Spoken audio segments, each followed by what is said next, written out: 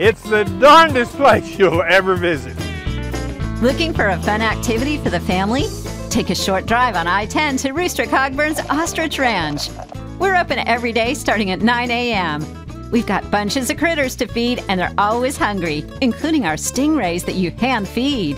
And you're going to love our brand new tortoise exhibit. See all that you've been missing at the Rooster Cogburn Ostrich Ranch.